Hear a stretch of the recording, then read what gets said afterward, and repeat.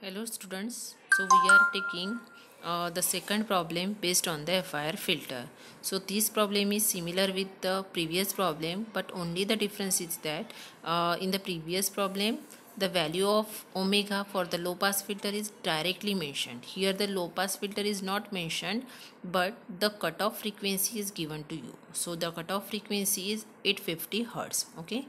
So now see uh, this is nothing but the uh, um, analog frequency is given to you and we want to convert that analog frequency into the digital frequency so we know the relation between the analog frequency and digital frequency so small f equal to capital F upon Fs. So we can put the value of capital F as well as Fs in this equation. So now we are getting the value of omega that is 1.068.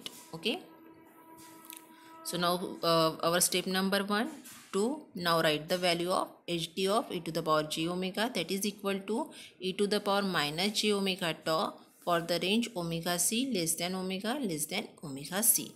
Now tau is not given but the length is given uh, for the filter so it is m minus 1 by 2. So after putting the value we will get the value of the tau equal to 2 okay. So omega c it is given as a 1.068 for the range omega less than 1.068 otherwise the value is 0 okay now finding the value of hd of n. So we are putting the value of uh, hd of e to the power j omega n as well as omega c minus omega c and omega c in the equation. Okay and solving this equation so we will get again the equation as 1 upon pi into n minus 2 uh, into sine 1.068 pi uh, n minus 2. So again putting the value of n from 0 to m minus 1. Okay.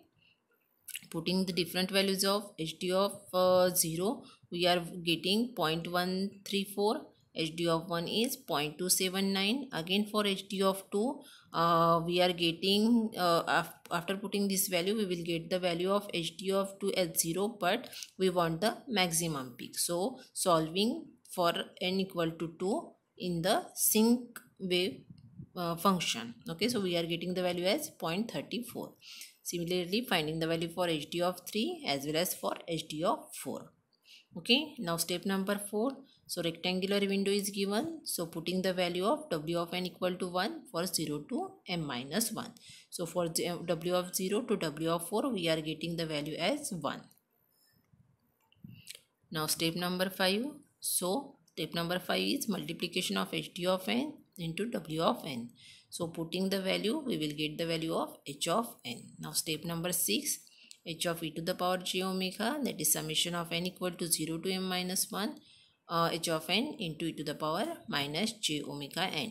Uh, now finding the values of h of n equal to h of m minus 1 minus n uh, putting the different values of the n in this condition. Okay.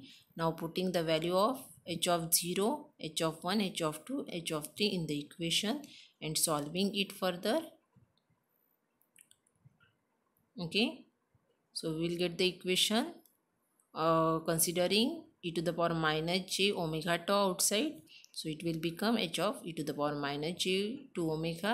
h of 0 is common sine 2 omega plus h of 1 sine omega plus h of 2. Uh, we will convert the previous equation into the sine format. Now finally putting the value of uh, h of 0, h of 1 and h of 2 in the equation.